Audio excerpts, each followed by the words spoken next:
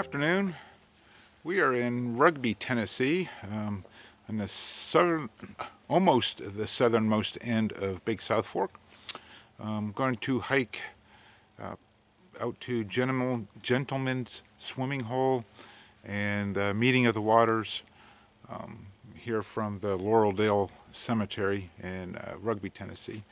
And it's a fairly easy loop trail. I can't remember what the distance is anymore. Um, we're going to do it backwards and get, as my wife calls it, the boring section out of the way first. Um, it's been quite some time since we were here last two. I think the last time in rugby was probably 2015 for uh, my birthday. So uh, we're looking forward to it. It's kind of muggy, uh, mid 60s overcasty. But uh, we're the only ones here, so it should be pretty enjoyable. And uh, I thought we'd take you along.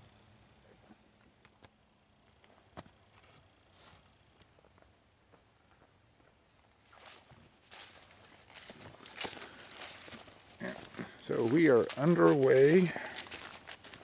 Um, it's an old roadway, which couldn't tell you anything about it. I don't know much about the history out here uh, other than the failed rugby colony thing. Um, a few of the buildings I'm putting in the intro part of this. It, it is kind of neat. If you've never been to rugby, it's worth a stop to see. Uh, I think here is where we enter National Park property.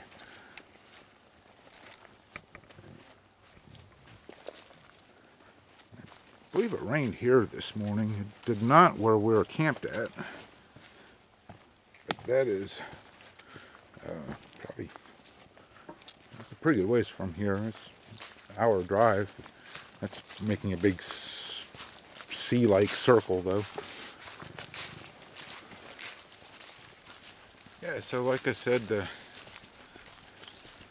last time we were here, uh, ballpark uh, spring of 2015, the uh, Rugby Historical Society had a uh, opening weekend, and they had some guided hikes through the area, a couple other trails, and this one also. Um, they had a St. Patrick's dinner at the cafe, at the cafe, which, uh, as we just drove by it, burnt down. I think last year, maybe the year before. COVID messes me up on time. Um, but you can look through the woods here, and there's still quite a bit of uh, storm damage, obvious from uh, um, like a week before they had that kickoff weekend, and we came out for that. They had some pretty strong tornadoes come through the area, so. back then a lot of these trails were blocked and it's uh, clear walking now but was uh, you can still see a lot of dead tree and blown over stuff. Oh and right over here is something I wanted to show you guys. I think it's pretty fascinating. Let me uh, get up to it and I'll turn the camera back on. Yeah so I wish I could tell you what all this is, I really don't know. Um, but it's right off the trail. Uh, looks like a big storage tank of some sort. Let me get over here where I can see a little bit better. I'm thinking it's for oil. I know there was a little bit of oil drilling activity out here. Uh, but There's there's that. I'm not sure. There's some of the other stuff that belongs to it. Come around the back side here. Some of all this gnarly stuff I might edit out, but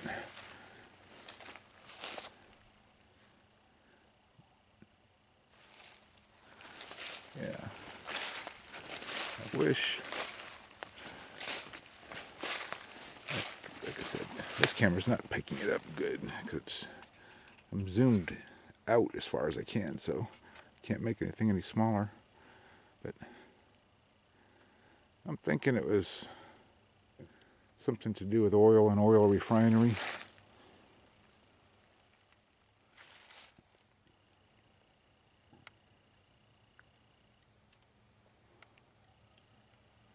Pretty cool though.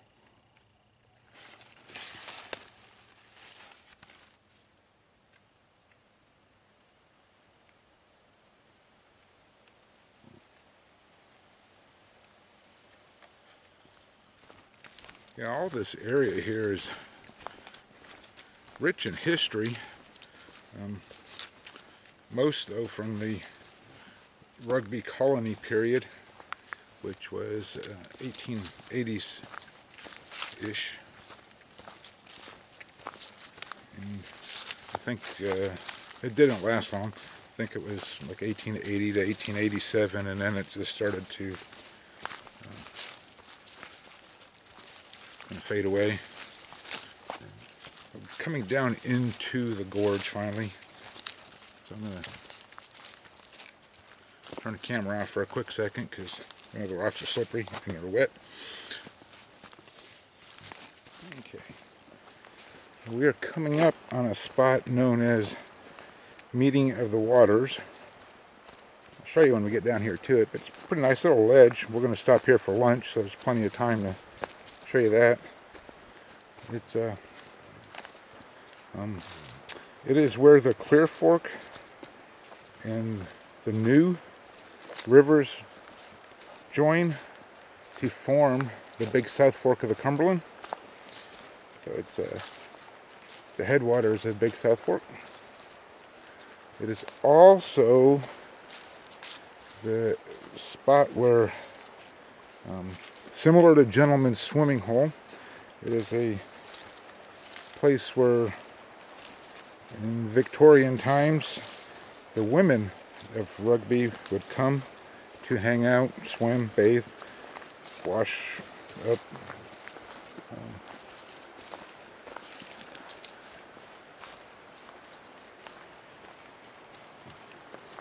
pretty neat little spot. Trying to navigate this and keep an eye out for my wife behind me.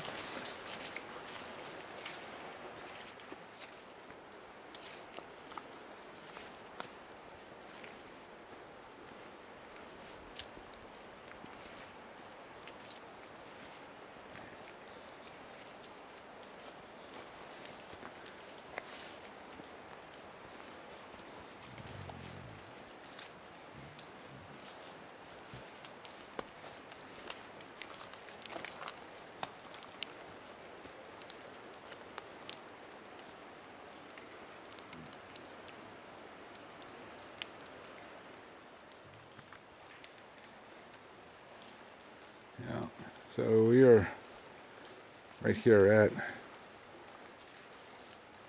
Meeting of the Waters.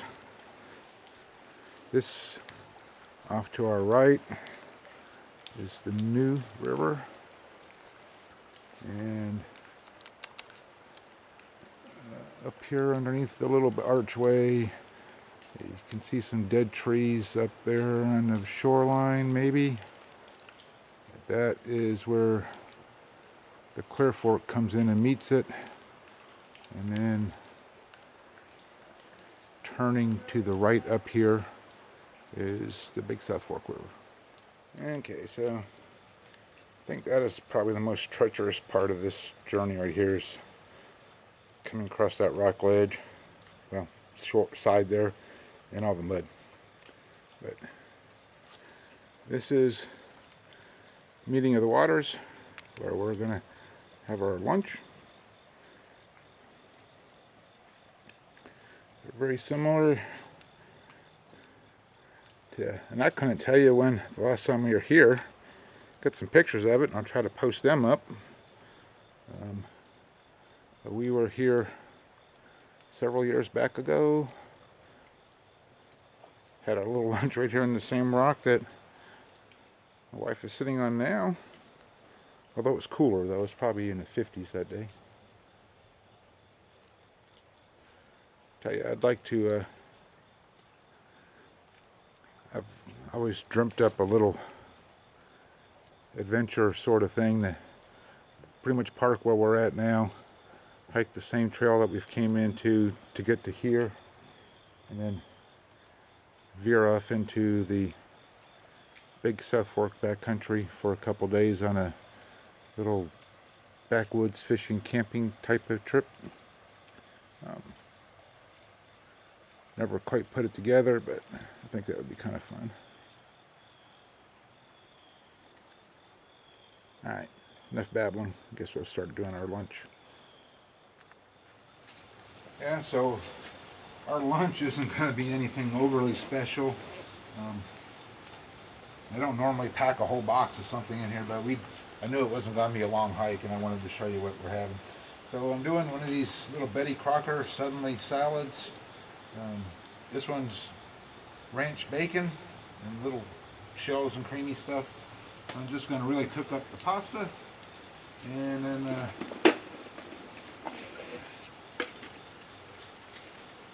got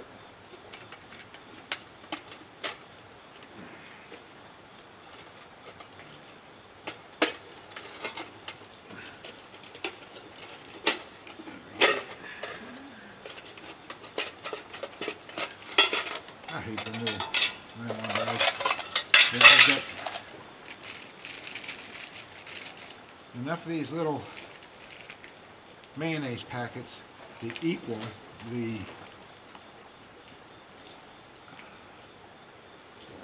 uh, I think it was quarter cup of yes half a cup of mayonnaise. Got enough of these little mayonnaise packets to equal to half a cup of mayonnaise mixed in there. And now we've got, uh, oh, just because you can't have anything without some kind of meat in it. Um, a couple cans of chicken breast that's already been cooked up and drain that off and put it in the pasta also. So we're going to have a chicken bacon ranch pasta salad sort of thing.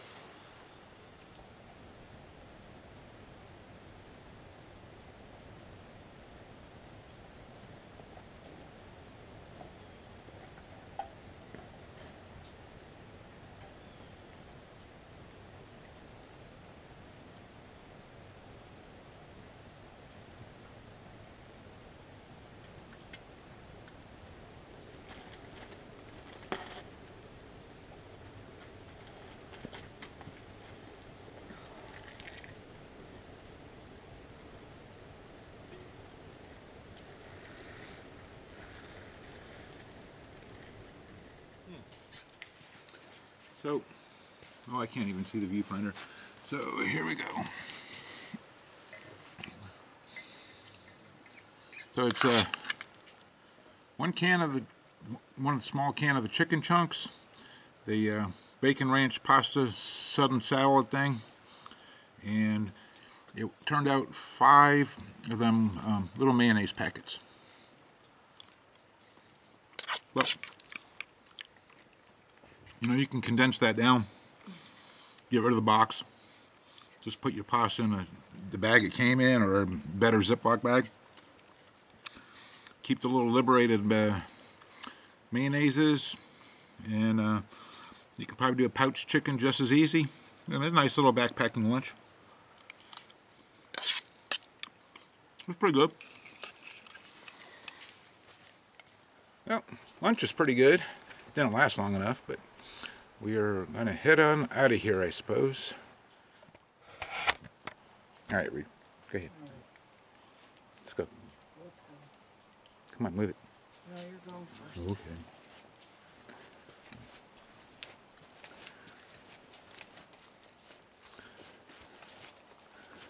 Oh.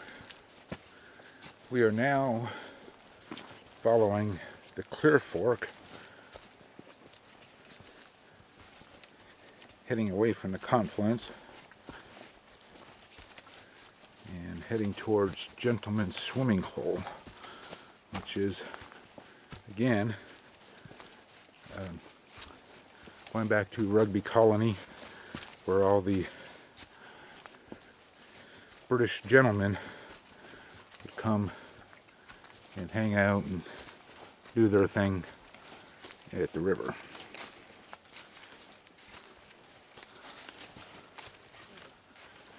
Nice little rock bluff and stuff.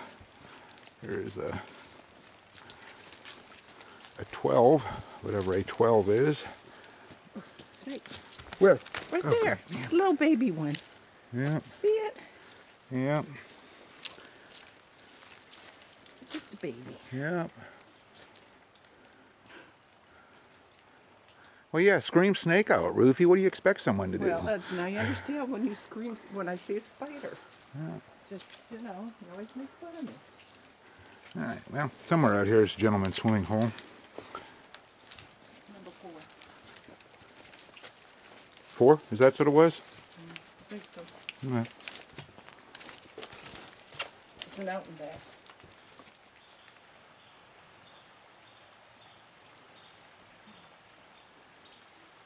This isn't it exactly, but it's along this trail. If you've watched uh, my earlier videos when there was that minute long intro, um, one of the scenes in there, kind of a fall scene, some leaves blowing uh, in the air and then landing on the water. It was along this trail, probably a little further upstream though. Um, this was. Uh, this is where I filmed that part of the intro at. Ish.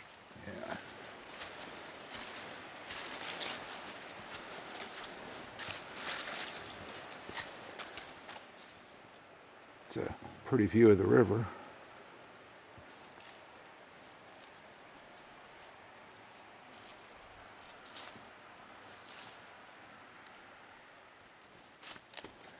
And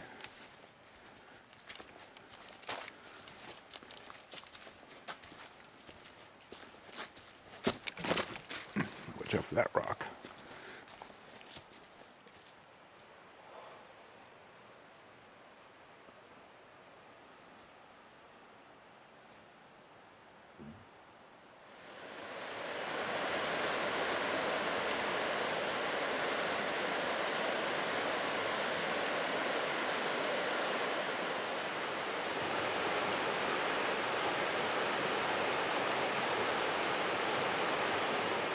I don't know if it's a permanent one. I don't remember it before.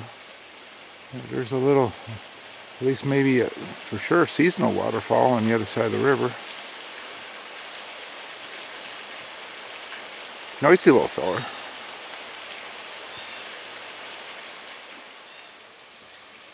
That noisy little waterfall again, but I was really focused on the water. Look how, look how clear that is.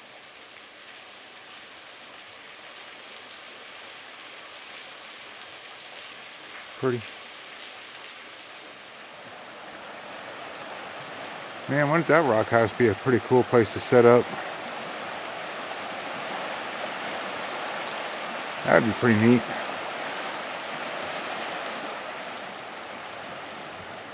Look at all this sand. Work my way through.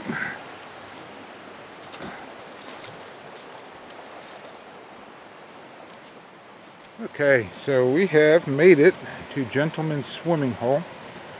It's got a nice sandy shoreline. Pretty cool little boulders and stuff to lean up and put your stuff up against. I'm guessing that it's a deep pool of water. It's flowing pretty good. But uh, historically, back during Rugby Colony, as I said earlier, this is uh, where the, the gentlemen of the colony would come, spend the summers, cool off in the water, hang out, probably drink their whiskeys and smoke their cigars too. Cool off from the summer sun. Pretty place.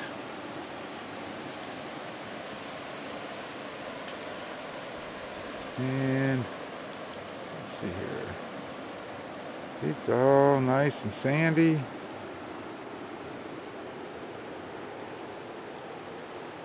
Pretty cool little spot.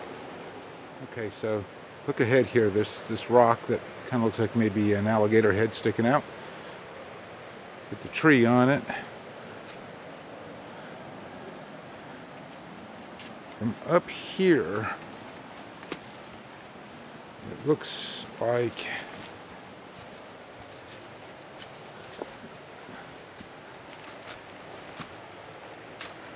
back maybe could have been cleared out. And just looks like a running diving jumping platform right into the river doesn't it? So we are leaving gentleman's swimming hole heading up the ridge now I don't recall there being too much more to see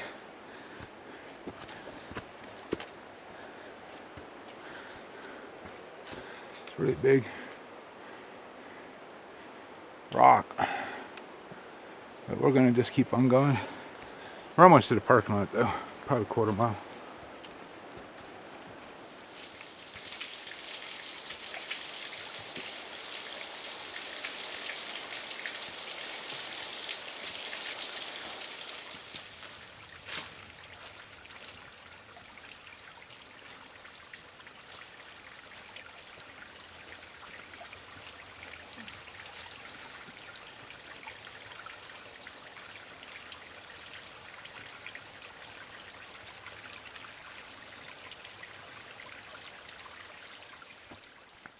Yeah, I don't think there's much more along this trail other than the things we've already seen and done. We're just trying to work our way back to the truck. Not too much left. We're at a, another one of them little information stops that has no information. Should be number three, seems we just passed four. But been a pretty good day. Lunch was good. The hike down along the Clear Fork is a little more gnarlier than I remember it. It's still enjoyable. And uh, so I want to thank you for hanging out with us this afternoon. And uh, we'll see you next time.